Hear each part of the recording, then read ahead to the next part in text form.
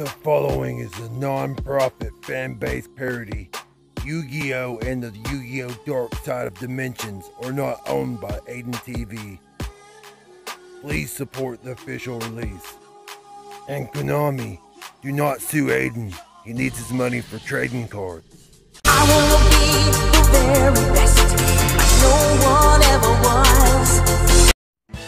I play my trap card, Counter Gate. What? It negates your attack. And I get to draw one card.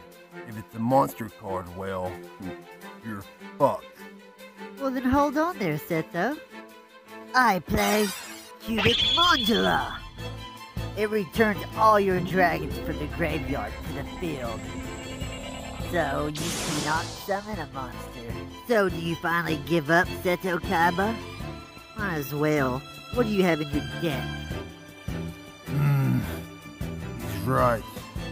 I don't have anything in my deck that will help me besides a polymerization.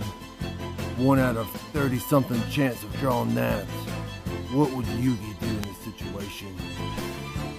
Kaiba, this duel is over. Heart of the cards? Oh shit!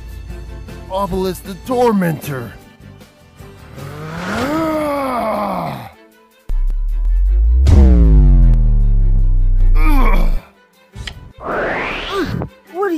Doing? Drawing, pleb. Ugh, I draw! Then I sacrifice three of my blue eyes. Oh, that power!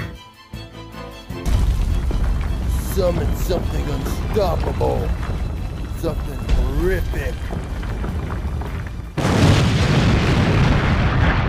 Obelisk the Tormentor. Can't summon an Egyptian god? Not only am I just going to summon him, I'm going to beat you with him. Egyptian god card. Oh fuck, I'm fucked.